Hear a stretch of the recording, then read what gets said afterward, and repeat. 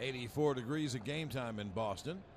And the right hander deals, pitches, swung on, hit in the air to deep left center. That ball is high, it is far, it is gone. Oh, way up in the screen.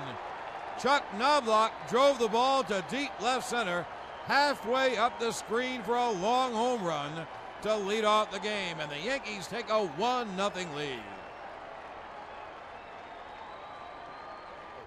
Portugal deal swung on and hit in the air to deep right center. On the run is Lewis looking up. That ball is gone into the deep center field bullpen. Derek Jeter inside out of the ball a long way and homers into the Red Sox bullpen near center field. So Jeter and Knoblauch go back to back and a belly to belly to lead off the game, and the Yankees take a 2 0 lead.